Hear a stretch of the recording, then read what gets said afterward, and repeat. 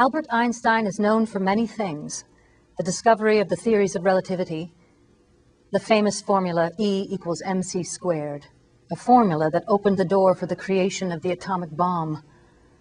What's not so well known was that he was behind the effort that urged Franklin Delano Roosevelt to build the bomb.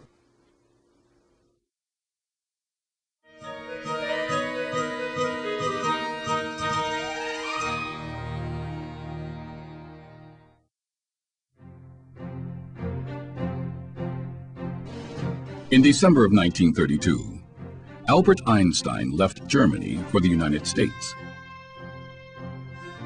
At the time, he was 53 years old and one of the most recognizable men on the planet. The smartest man in the world. He had revolutionized physics in a way nobody had before and nobody has since. A month after his departure, the Nazis came to power in Germany. Einstein never returned to his homeland.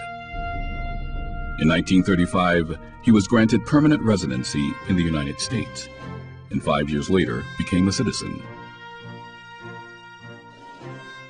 By 1940, his best work in physics was behind him, but his work in American and world politics was just beginning.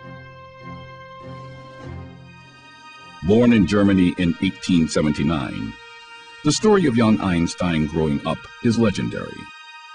To his parents and teachers, he was quite ordinary. Undistinguished in school, he earned only mediocre grades in physics and mathematics. But in reality, he was just bored with the mindless and mechanical method of learning that school presented him. By the age of 16, he was already performing the thought experiments that would lead him to his special and general theories of relativity.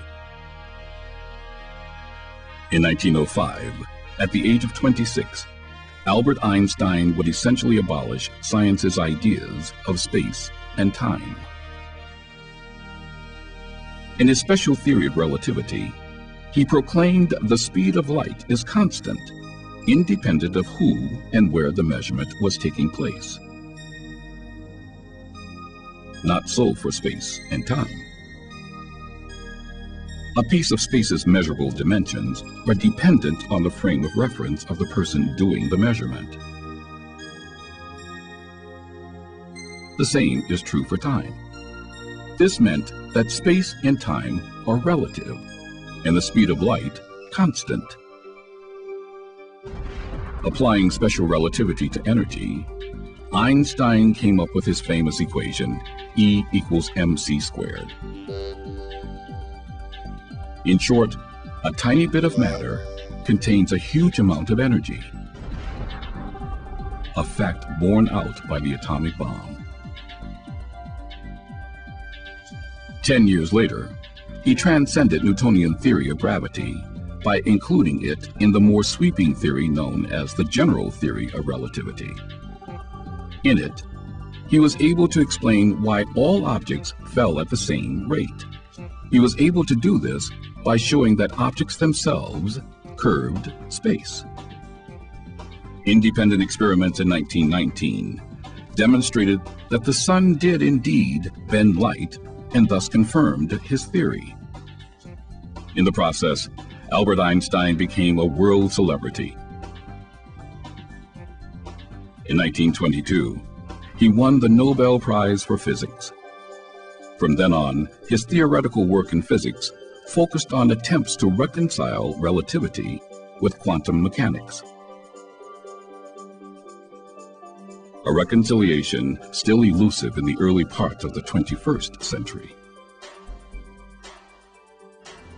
But with the rise of Nazi Germany in the 1930s, Einstein's celebrity forced him into the political arena.